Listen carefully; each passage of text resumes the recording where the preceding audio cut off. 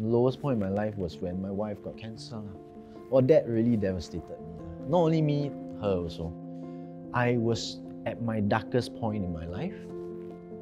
The urge to go back to drugs was, was so real. So there was once uh, my third child. So he walked into the visit room. He was already tearing up to see me sitting there behind the cubicle. That broke my heart. Today, um, the show will be a little bit different. Mm. Um, we will have these cue cards, and then uh, you'll be asking us questions, and we'll also be asking you questions. Okay. Okay, the first question is How long have you been out of prison? Uh, to date, I've been out of prison for four years and counting. Two years. Two years. Yeah. Four years and a couple of weeks, Right. And how long were you in prison for? 20 years and 36 days. Wow, that's a long time. What What was it like to be in prison for such a long time? Mm, I don't think a lot of uh, words can be, you know, uh, said to describe those feelings. Yeah. I've been in and out of prison uh, since I was there at the age of 16, and now I'm 40. Oh, Yeah. 14. So 26 years. My longest sentence was six years.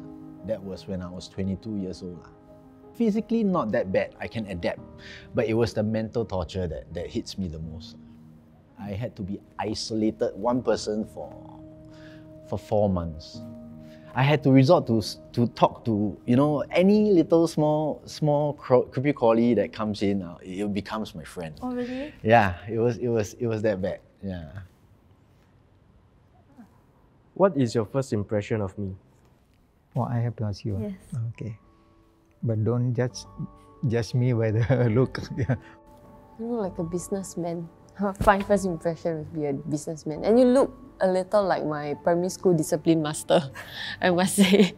My first impression is that yeah, you look quite friendly and quite nice. With or without the tattoos?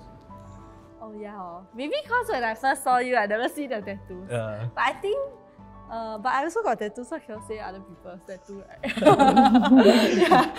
When I first saw you just now, I thought to myself like, wow, this person can take a lot of pain. Because you got Oh, scalp the head, tattoo. And there's also like a Chinese character that called Endurance Run, Run. on your hand. So I'm like, wow, he must be someone that can run a lot. I used to be a crybaby. Right now, right, when I go through um, hardships, right, I want to cry, but I can't cry. Can they, do you know how it feels? numb? I can't cry. Yeah. Why? Like I want to cry, you know. Maybe because I went through so much pain. How do you feel when you saw this question? Maybe a long time ago, I may have uh, felt, you know, like, a, you know, what, what, what do you say, inferiority complex? In a, in a, in a group of, uh, you know, like a sort of, what do you say, well groomed uh, people, I will be the rowdiest looking person and I will be out of place. So definitely I will be thinking something, you know, am I supposed to be here? Uh, do I look right here? I don't know, that kind of things, yeah.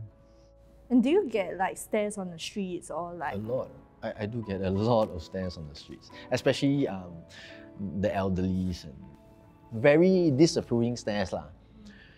I remember got one, there was one time, quite some time back, I, I'm not sure, I think it was in my 20s. I was um, not like this. I mean, of course, I was bald. Um, I had a lot of piercings. And I had this contact lens, bloodshot contact lens. I looked very scary. So um, I was on the train.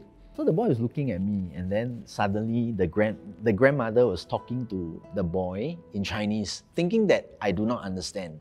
Say, "Don't talk to, don't talk to this. Don't look at him. This guy is a bad boy." But I was used to it, lah. I mean, I wanted to dress a certain way, um, but yeah, Is there like a reason why you wanted to dress a certain way? I wanted to instill fear in, fear in others because I was, I was a timid boy, bullied. So I wanted to, to look a certain way to make people fear and respect me. I just subconsciously become that bad person, and then I feel bad. Whatever I say is bad. What comes out of my mouth is bad, and I take on that that person. It's like you feel like no matter what you do, it It's will always be con- bad. It's always bad. They will just condemn I don't have to you. convince people I look bad, you know, that kind of thing. And it, I, I just naturally become like that. Yeah. What was the lowest point in your life? Lowest point would be say when I was overseas, when I was at Thailand immigration. It's a big dorm where around, like 200 people in a dorm. Why were you in a dorm in the English? Because my passport expired. So uh, before I return back, I have to stay at the immigration. I thought I was coming back because one of the uh, in charge of the room he told me, hey, you got you got a somebody bought your ticket back. So I was waiting, waiting. The time is like almost eleven to twelve already. I said, hey, where's my flight? I said, I don't know. So it got I got really heated up. So during the fight, it was like almost the whole room beating me, everything. All so they handcuffed my hand, the left to the right, right to the left. So start beating. So it was quite bad. So they, they even covered the cameras, take the metal pole, uh, wrap in cloth to beat. ah. Oh Yeah, then after that, they'll drag me to a single room, then handcuff me there for three days. Yeah, so that's that's the point where I started to think, okay, maybe violence, I can't solve things with violence. yeah. lowest point in my life was when my wife got cancer. I guess that was really my lowest point. Well, that really devastated me. Not only me, her also. So I think that was a very dark period for at least probably one, two months after receiving the news. She lost a lot of blood during the surgery. I was at my darkest point in my life. The urge to go back to drugs was, was so real. What stopped you? my promise to my wife. lah. And also, I know that it's not going to help the whole situation if I just take that first path. I'm glad I didn't. So there was once uh, my third child. So he walked into the visit room, and when he came in, he was already tearing up say, to see me sitting there behind the cubicle. That that was the first time he was coming in. So when he walked in, he took his uh, uh, collar and you know dried his uh, you know corner of the eyes, then walked in. That broke my heart. You see. So I went back to the room and I was thinking, do I need to put this? I mean, put my children through this? Not necessary. So I told my wife. I wrote to my wife that to stop them from coming to see me, all of them. Just bring them up as good people in this society lah. Why do you feel like you had to, you know, make this decision to exclude yourself from their life?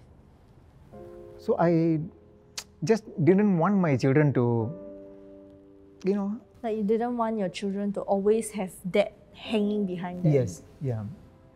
Because I, I mean, as a bad person, I always had to look behind, you know, who is behind me. It could be uh, uh, an enemy or it, it could be police, the law. So even my children also, I don't want them to, you know, be doing this. Just live a free life. But wouldn't that have been very lonely for you? Of course, loneliness, uh, yes, but all these things I created for myself. So, why do I have to drag others into my suffering also? So, if I can take it alone, I just take it alone. And when you came out to like um, society, right, what was the hardest thing? Yeah, the, the, the day I walk out of uh, prison, okay, I needed a place to stay and I didn't want to live on my own also. See, after 20 years of uh, living in a stuck place, you know, this is the place I came to. Yeah, so this is it. This is my family. Yeah. You came to Highpoint and came to a Yes. halfway house. So why did you come here and how did that kind of impact your journey? I guess it was my particular walk with this uh, caseworker of mine. I mean, he's still in contact with me right now. Um, he went out of his way um, to bring me to various uh, areas to get assistance, collection of certs, and all that. I think these are the little things that speaks volumes, uh, especially to someone who's broken like me, because this is outside of his working hours He bothers to make the effort to drive me. He can donate. So that is something that actually really touched me. What keeps you motivated to remain on a straight path? Yeah, so my parents and my mostly from my secondary school, yeah, my friends from my secondary school. Yeah, yeah especially when I overseas, so like some of them will say, hey, it's getting too deep, like when do you want to stop all those? I don't want to like one day come like have to packet you back to Singapore. What were you going through at that time? I started to think think about reconsider my life. My promise to my wife um, kept me on that path uh, ever since. Uh. During a chemo, she told me that uh, she said, look, promise me because she went through my my addiction days, you see. Um, so she knows how it feels like to be that person who is with someone who's under drugs. So she told me, say, if you ever go back to drugs, I really cannot take it. I, I, I, I wouldn't go for my treatment, I would just kill myself. And that really, that really broke me. I said, I, I, I promise you now that I am not going to go back to drugs. I, I, I, you having cancer is not fair for you. Me putting you through this pain again is even not fair. So that is my promise to her until now. Yeah. What kind of, I guess, situations did you all go through together? Uh, when I relapsed, she was with me. Um, sleepless nights, uh, because when you're on meth, you, you don't sleep for days, uh, and she will sleep alone. And then she'll, she'll come out, say, Do you want to come in and sleep? I say, uh, uh, I can't sleep. And then I brush her off. So she spent that period, we don't talk. I'm always so focused on drugs, we don't talk. Um, most women would have left, I would have to say so. But she stuck it out with me. She didn't give up. She didn't give up, she didn't give up. I feel very thankful because if she had left me, I don't know how I can carry on. Yeah. Yeah, I'm thankful. Uh. Yeah. I'm so touched by your story. I'm glad that I can touch someone else, you know. Yeah, I, I, I, I don't know. I mean, what we went through was so difficult. I wish my wife was here, and, and, and I, we, we were, it was very difficult for us. Um, still difficult now. I'm so sorry. We got tissue.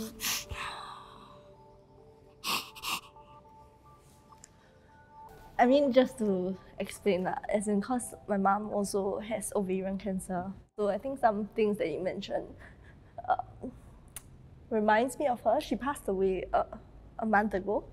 Yeah. I'm so sorry. No, it's okay. It's okay. It's okay. but um, it's difficult to journey with um, someone who has cancer, you know, the in and out of hospital and all that. And and I think the emotional side also lah. I remember like those days so clearly. When I hear you say that, right, wow, I get scared again, you know, because because some people come back even after five years. I, I really don't know this this cancer thing, but um, well, I just got to live every day like it's our last. Do you see me differently now after our conversation?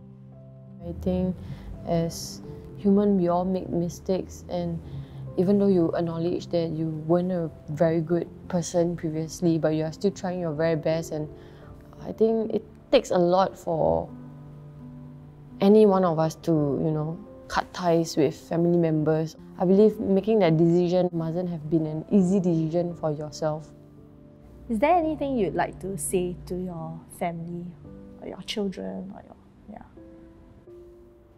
yeah? Like uh, even my wife and my four children. As a husband, I wasn't a good husband. As a father, I definitely wasn't a good father. I wasn't there when they were growing up. If I can go back to that time and uh, do everything right again, even if it will cost my life, I will go back there and redo everything. I think first impressions are what it's exactly what the word is like, first impressions, right? Make it like the first three seconds or seven seconds. And this applies to I guess everybody that we meet. Like the people we see are not who they truly are. Whenever you see someone, we are so quick to judge. Who are we to even try to pass judgment on that person? I think it's not fair, right? Yeah. Okay. It's a wrap. Not yet. Not yet. Yeah, it's not yet. I haven't taken any like photos for a long time. Really? When was the last time? The last time was the photo I sent you guys. Let's shoot the photos now. The proudest thing I feel about myself is being able to sustain for so long, you know, rejecting all the vices. and makes me feel more confident. So when I look into the mirror, I see myself as someone who is resilient, determined, and a very loyal person. I'm still there, being by her side and not succumb to drugs. In the past, uh, I used to be a very heavy smoker and a heavy drinker also. But today, I do not smoke, I do not drink, I do not gamble. So if I can say that today, then my mind has already accepted change. Thank you HCSA Highpoint Halfway House for giving us the space to share these stories. We hope you enjoyed the video and if you'd like to support other former offenders who might be on a similar journey, you can make a donation through the President Star charity by scanning the QR code on screen via your bank app. For more details, see the description box below. As usual, if you like this video, please like, share and subscribe. And if you happen to see us on the streets next time, do feel free to join us for some tea. Till the next one. Bye bye!